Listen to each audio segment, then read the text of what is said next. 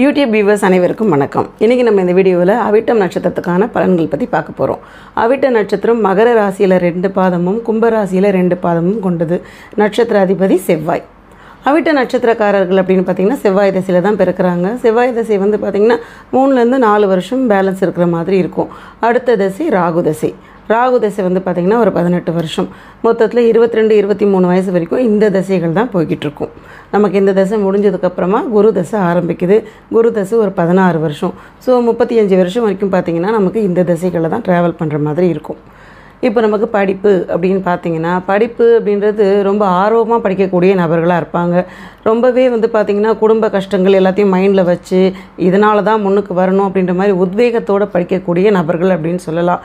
எல்லா விஷயத்துலையுமே விட்டு கொடுத்து போகக்கூடிய நபர்கள் கோவக்காரங்க. என்னன்னு கேட்டிங்கன்னா செவ்வாயோட நட்சத்திரம் வேறு. அதுவும் மகர ராசியில் இருக்கக்கூடியவங்கன்னா செவ்வாய் உச்சமாக இருக்கக்கூடியது.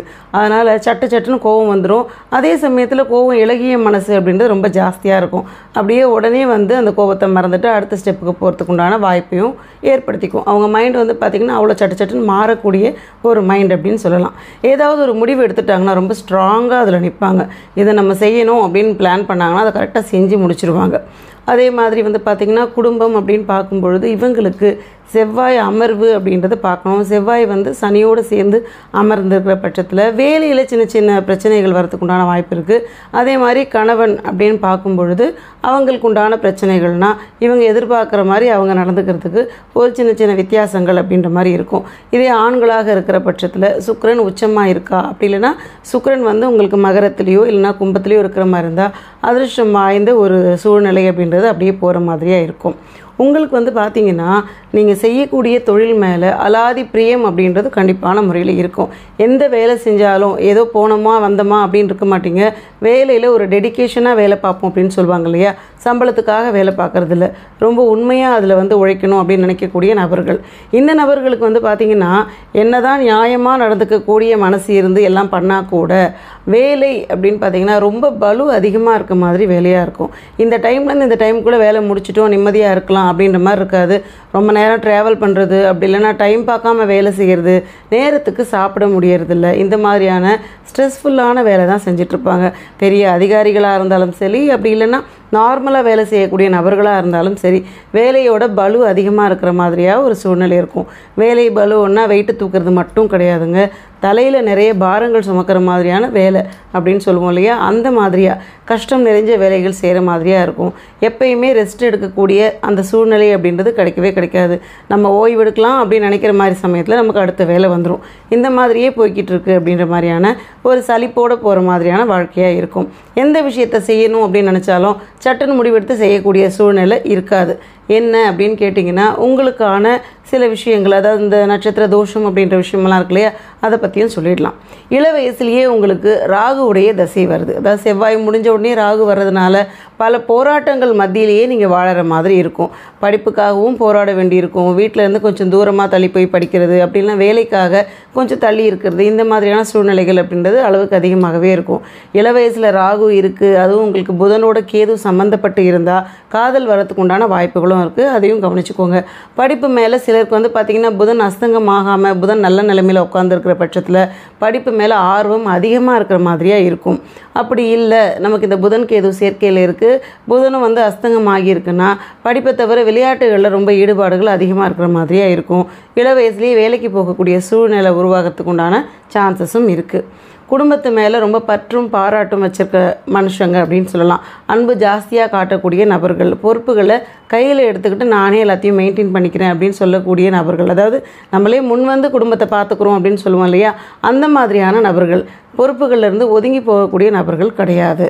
ஸோ இது எல்லாத்தையும் வந்து பார்த்திங்கன்னா இந்த குரு தசை போயிட்டுருக்க சமயத்துலேயே நல்ல நிலைமைகள் அப்படின்றது நமக்கு ஒன்று சேர வரத்துக்கு உண்டான வாய்ப்பு இருக்குது குரு தசை முடிஞ்ச உடனே நமக்கு சனி தசை ஆரம்பிச்சிருது. சனி தசை வந்து பார்த்திங்கன்னா பத்தொம்போது வருஷம் வரைக்கும். அதாவது ஒரு ஐம்பத்தஞ்சு ஐம்பத்தி ஏழு வயசு வரைக்குமே நமக்கு இந்த தசை போய்கிட்டு இருக்கும். அதாவது ஒன்று ஒன்றாம் பாதம் ரெண்டாம் பாதம்னு பாதம் வாரியாக மாறும் பொழுது தசைகளோட அந்த காலமும் கொஞ்சம் கொஞ்சம் மாறி மாறி வரும். அதனால் நமக்கு முப்பத்தி அஞ்சுலேருந்து முப்பத்தி எட்டுக்குள்ளே குரு தசை கம்ப்ளீட் ஆகும். அதுலேருந்து பார்த்திங்கன்னா ஒரு பத்தொம்போது வருஷம்.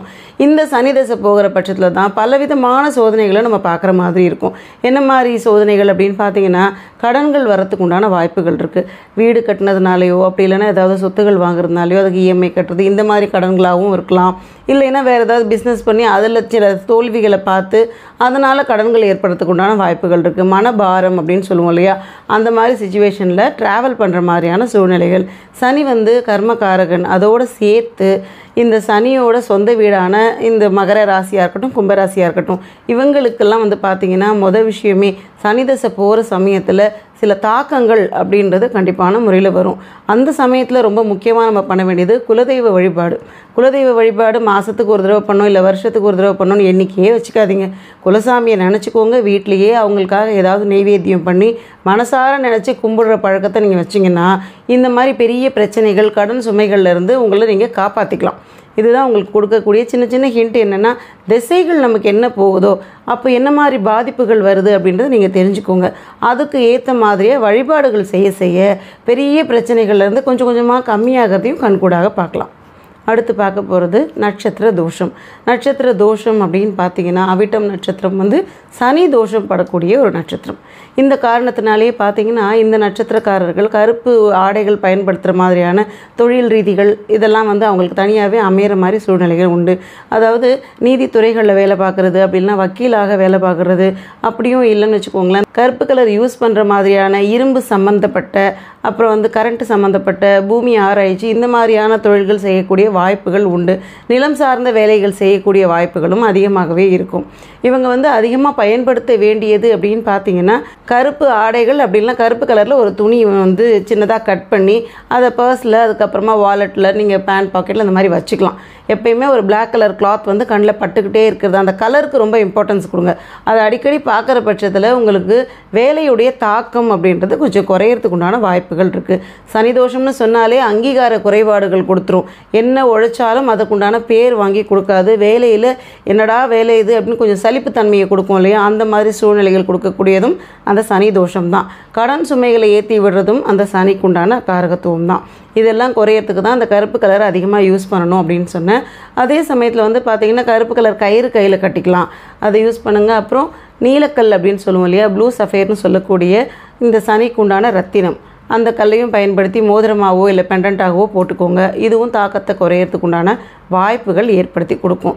ரொம்ப முக்கியமாக நீங்கள் பண்ண வேண்டியது சாப்பாடு தானம் பண்ணுங்கள் இது வந்து பார்த்திங்கன்னா சாப்பாடு தானம் பண்ணுறது அதாவது நீடட் பீப்புளுக்கு யாருக்கு உணவு தேவையோ அவங்களுக்கு சாப்பாடு தானம் பண்ணுங்கள் அந்த மாதிரி பண்ணுற பட்சத்தில் சனியுடைய தாக்கம் அப்படின்றது நல்லபடியாக குறையிறதையும் கண்கூடாக நீங்கள் பார்க்கலாம்.